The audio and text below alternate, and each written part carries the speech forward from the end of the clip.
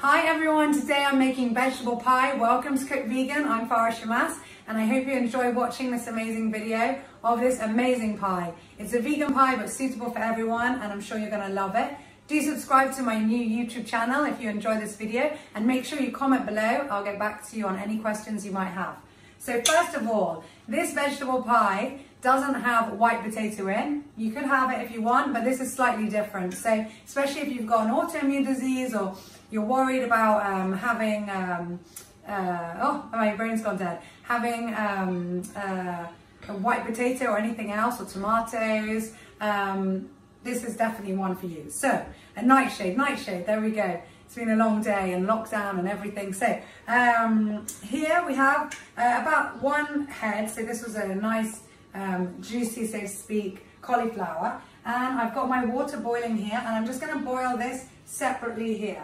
Now, as some of you may know who have made cauliflower mash, because this is gonna be the topping of our pie, um, it doesn't take very long to make the cauliflower um, super soft and ready to be um, blended, whether you blend it in a food processor, a Thermomix, your hand blender. We're probably going to use our hand blender for this. So I've cut that up and that's going in there. So I'm just going to push that in. And I'm not adding anything else to it. We're leaving it as plain as plain can be. And um, we're just going to heat that up and allow that to boil and soften. Now I've got here our wok. Um, you could have a big pan or anything else. And I'm going to add a little bit of olive oil. Um, not too much, it's not to be deep fried, but I've got a lot of vegetables here, so um, a good drizzle in there. I would say that's probably about four tablespoons. Um, and I've got a selection of vegetables here, so I'm just gonna show you which ones we're gonna put in first. The ones that take longer to cook are actually on this side.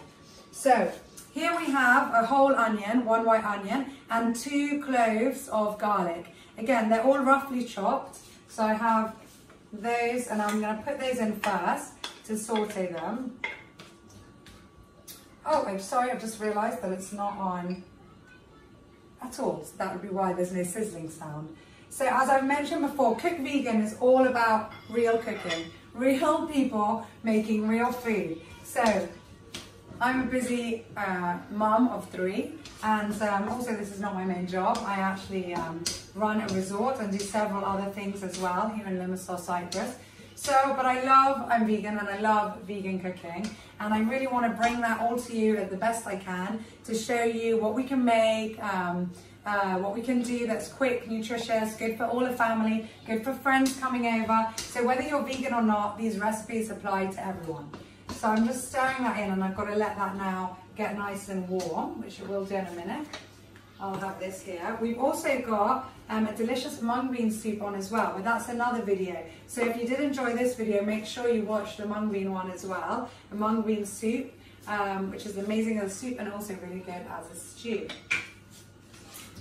So here we go. So here we go, multitasking. I've just been um, finishing off our delicious mung bean soup. That's another video, so don't forget to watch that. And here I'm going to add, I'm going to throw all of that in actually because it takes around the same time to cook. So our um, onion and garlic have nicely um, bronzed, became golden. I even managed to get a, some of it quite brown, but that's okay. That's what happens when we're multitasking, as long as it's not burned. And here I've added the delicious um, carrots and parsnips. Now, um, that was a full plate of um, cut long, lengthways carrots and parsnips. So it's about two parsnips, large parsnips, and also about three, I'd say, medium carrots. Um, so you can see that, but as you saw before, when we had them on the plate, it took up the whole plate, and about half-half. Again, this is the nice thing about a lot of my recipes, and a lot of the, um, the recipes we use on Cook Vegan that we've developed, are that they are they're flexible, so you can also just look what you have in your fridge on that day. I mean, we love using parsnips in our vegan vegetable pie, but at the end of the day, they're not always readily available, at least not to me here in Cyprus. I don't know where the rest of you are in the world, maybe they are, but uh, maybe you just don't like parsnips or carrots or whatever else. So you can be a bit flexible with your ingredients. So now I'm just coating all of these with the delicious heated olive oil. Now I love olive oil in this, but again, I do tell everyone all the time, if you want to avoid oil, you can always use a different oil. I wouldn't recommend using coconut oil with this because it would completely change the flavor. But you could use a different type. You could also use a bit of vegetable stock, white wine, whatever you like. So we're putting that in there. These are all coated. I'll just let them um, soak up a bit more and get a little bit softer because carrots tend to always take a bit longer than anything else, as do parsnips. And here are uh, cauliflower mash is also um, cooking. So now that I can hear this sizzling, toss it around a bit more. I'm going to add our potatoes. So this is one medium uh, sweet potato. And here we have this beautiful violet potatoes. So they're called, I know, an array of different things in different countries. Do comment below if you have a better name for them than what I've just called them. Um, purple potatoes, violet, um, so many other names. So these are two types of potatoes. Now, um, again, if we did, not have access to those, oh, came too close to that heat, um, we could also have used a little bit more sweet potato as well. And if you are, don't mind having a nightshade, by all means, you could also add a little bit of white potato. I wouldn't say to add too much though, because it might start becoming a bit too mashy and uh, the texture and flavour might start blending too heavily with the um, cauliflower mash that we have on top.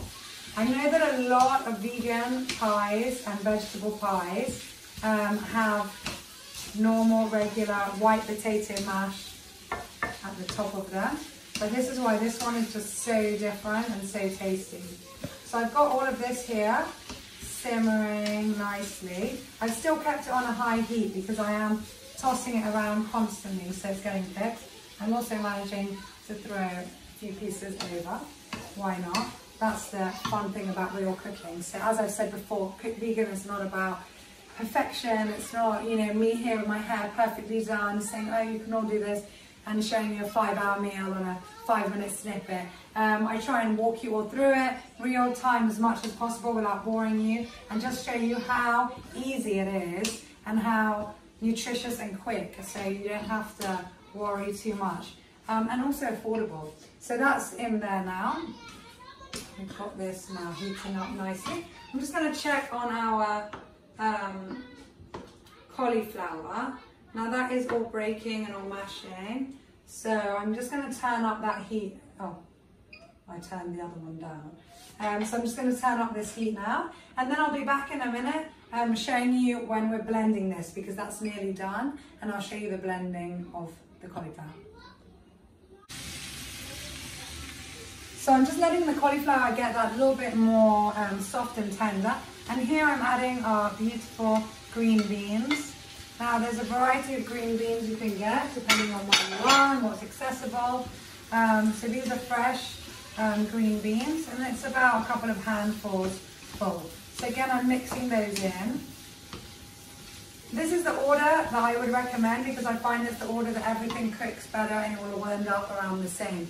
Because if you put the carrots in last, if you put the beans in first or the mushrooms in first, you're going to end up with one being quite slushy and not that appetizing and something else being quite crispy. Although, again, with this recipe, you don't have to worry too, too much because everything is going into the oven. So while we're heating this, oh, again, I managed to chuck out a carrot. While we're heating this, it's good to have, um, at the beginning, if you're doing it quickly, just put the oven on so it can preheat. Um, and uh, there we go. So then it will all go in the oven for a bit. Okay, now I'm going to add our zucchini. So this is about three to four um, zucchinis, depending on the, the, their size. It would be three very large ones. And these are the green ones. I'm just going to hold back most of the mushrooms for a little bit. A couple fell in, but that's okay.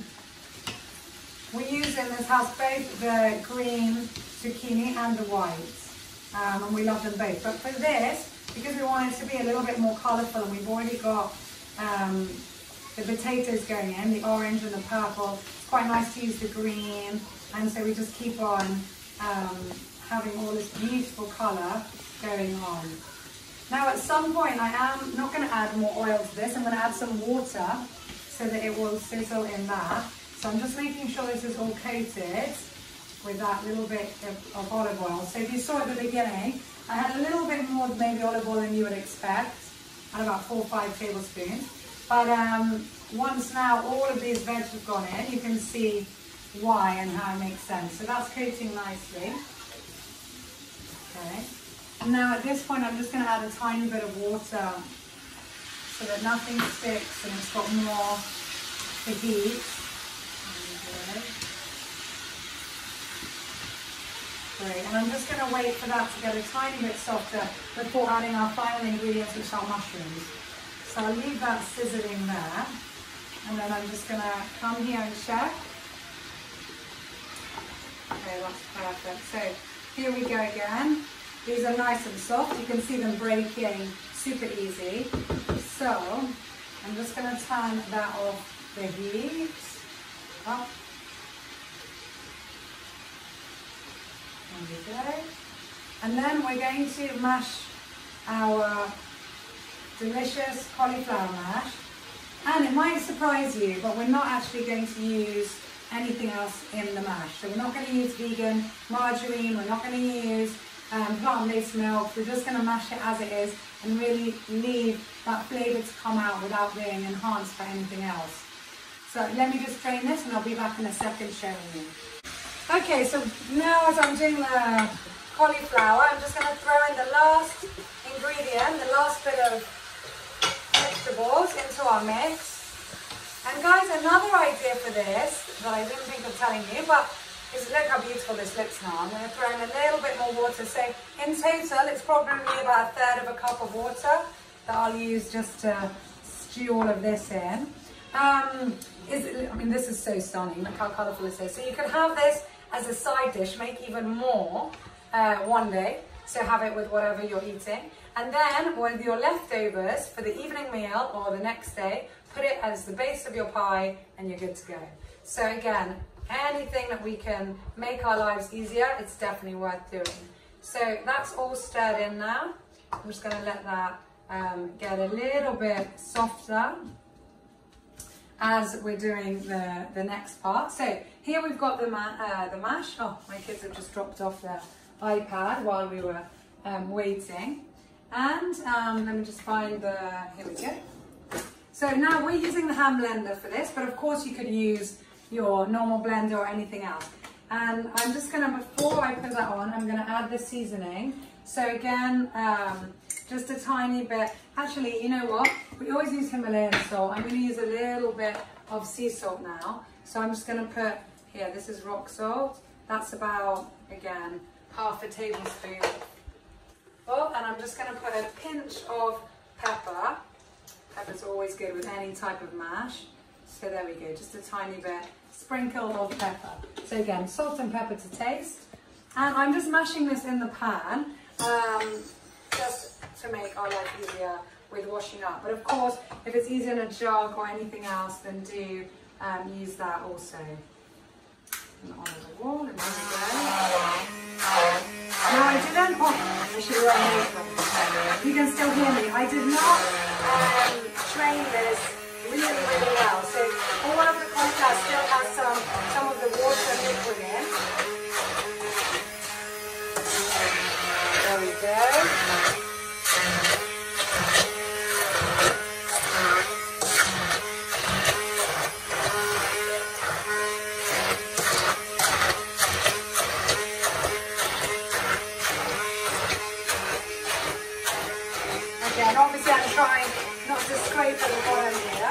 Okay, so this is my son.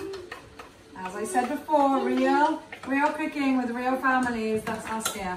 So there we go. So the mash is done. Like that. Already, no lumps. And um, I guess you could add some um, uh, plant-based milk as well in it if you wanted to make it that bit creamier.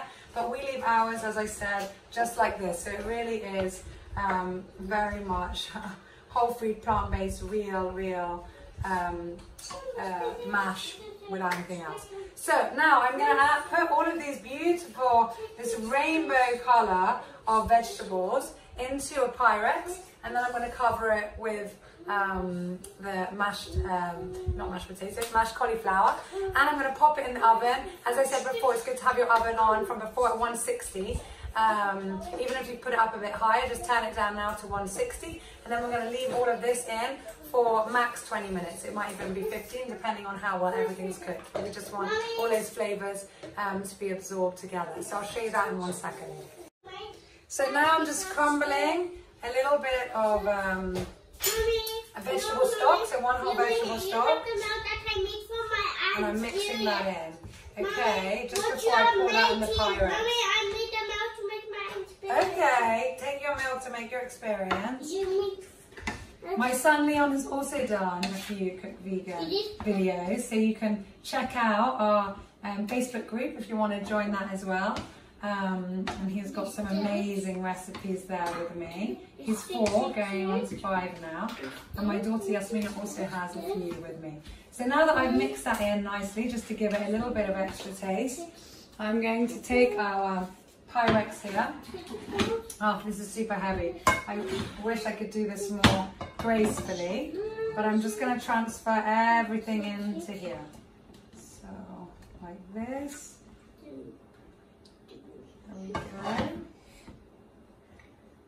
And I'll show you in a second once I've done all of this with the topping as well. Okay, and now I've just literally put that all on top. So I poured all the vegetables in, or scooped them in rather. And then now our beautiful cauliflower mash has gone on top. Again, this is a really light layered.